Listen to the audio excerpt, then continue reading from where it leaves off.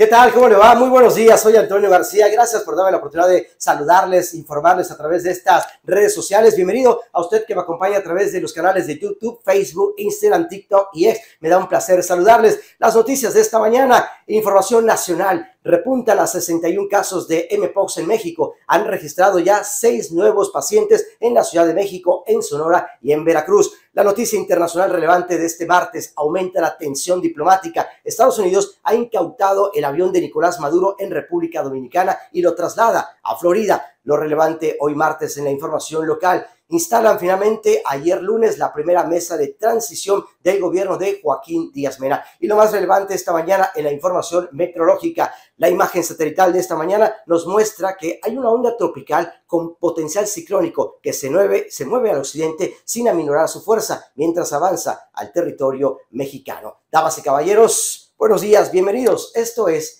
el epicentro de las noticias. Gracias por darme la oportunidad de saludarles. Hoy el calendario marca que estamos a martes 3 de septiembre. Juntos estamos transitando en el día 247. Faltan, restan 119 días para despedir este año 2024. Ánimo, hoy te deseo un martes de planeación. Vamos a conocer las noticias más importantes de esta mañana. Comenzamos como siempre en el terreno de la información meteorológica.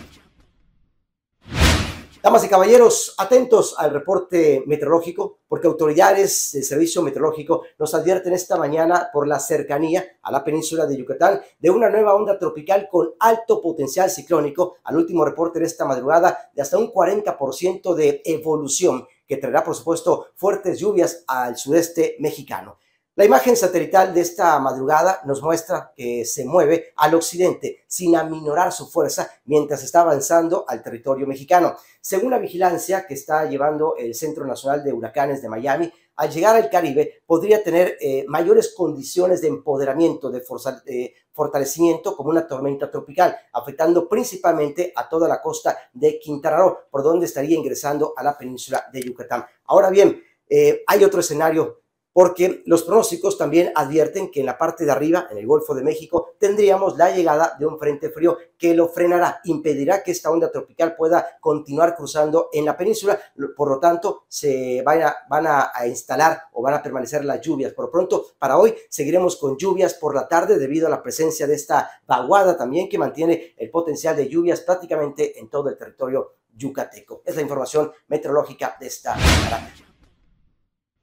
Vamos ahora al territorio de la noticia nacional. Hay un alarmante repunte de seis nuevos casos de MPOX en México. La Secretaría de Salud ha confirmado el registro de más contagios de esta llamada viruela del mono durante la última, eh, penúltima semana de agosto, con lo que se contabiliza ya un total de 61 casos en lo que va de este 2024. El reporte, que abarca del 18 al 24 de agosto, la Dependencia Federal de Salud indica que tres de estos nuevos casos se detectaron en la Ciudad de México, dos en Sonora y uno en Veracruz. Del total de casos confirmados durante este 2024, 58 han sido en hombres y los restantes en mujeres. Ahora bien, el Comité Nacional para la Vigilancia Epidemiológica también emitió el día de ayer un aviso importante con la finalidad de que todas las unidades médicas en todo el territorio mexicano vigilen, monitoreen y notifiquen inmediatamente los casos probables para reducir los posibles eh, contagios o romper esta cadena de contagio.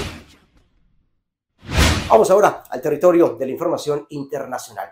Estados Unidos confiscó en la República Dominicana el avión oficial del presidente de Venezuela, Nicolás Maduro, y esto fue con base en las eh, sanciones estadounidenses que pesan sobre Venezuela. La noticia el día de ayer corrió, por supuesto, como pólvora el tema de la incautación de este avión. El avión, cuyo costo se estima en 13 millones de dólares, había estado en la República Dominicana en los últimos meses, cuando finalmente se concretó este operativo. Los funcionarios eh, de gobierno de Estados Unidos dieron a conocer que tuvieron la oportunidad de poder confiscar este importante avión con una operación en la que estuvieron involucradas varias agencias federales que estuvieron trabajando en la vigilancia, en el monitoreo, en esta estrecha colaboración con la República Dominicana que notificó a Venezuela sobre la incautación de este importante avión. Recordemos un tema importante también porque eh, durante varios años el gobierno de Estados Unidos ha confiscado decenas y decenas de vehículos de lujo, entre otros activos que se dirigían a Venezuela, pero nunca un vehículo de tanta relevancia, incluso simbolismo para Nicolás.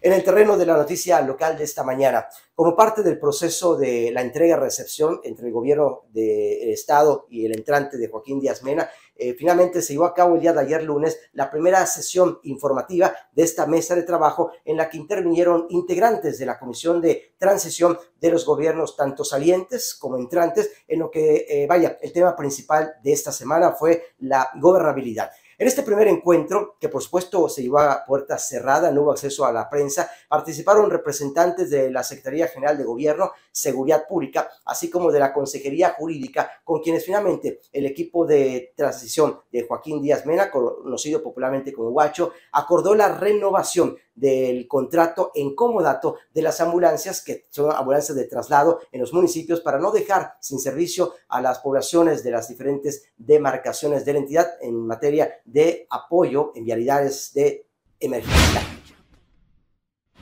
Damas y caballeros, estas serían las noticias más importantes de esta mañana. El decreto de este martes, nadie alcanza el éxito quejándose o criticando a los demás. Concéntrate en ti mismo. Soy Antonio García y como siempre, primero agradecer la oportunidad de saludarles, segundo, que me permita informarle a través de las redes sociales y tercero, y creo que es lo más importante, que tengamos abierta esta comunicación a través de estas multiplataformas digitales como son las redes sociales. Martes, ánimo, buenos días.